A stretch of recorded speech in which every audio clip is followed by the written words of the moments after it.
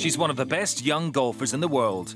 2017 Ladies European Tour Order of Merit champion Georgia Hall is here to give you some tips on how to improve your game. I'm Georgia Hall and I'm going to teach you some things to improve your short game.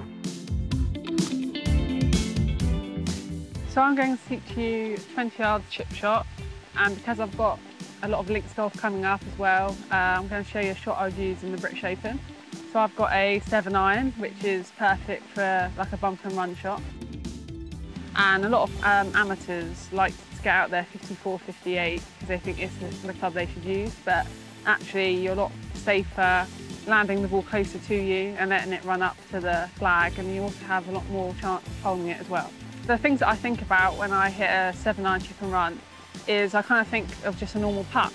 So I keep my feet very narrow, uh, the club quite upright, and I don't try and break my wrists as much. I just think of it as punch stroke. And I try and keep the rhythm the same, even at impact as well. So I'll do kind of the correct way now.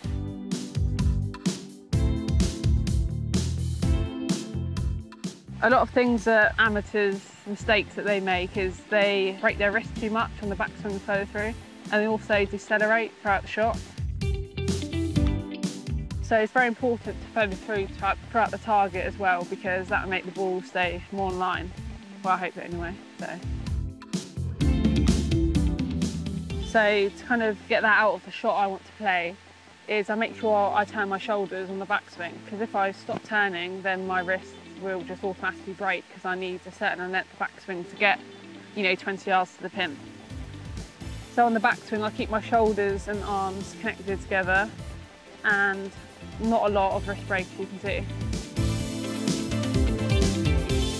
So the top tips to remember are narrow stance, keep your wrists locked in the backswing and turn your shoulders, and also good rhythm, so don't decelerate through the golf ball and follow through towards the target. And if you do that, you'll be chipping like Tiger in no time.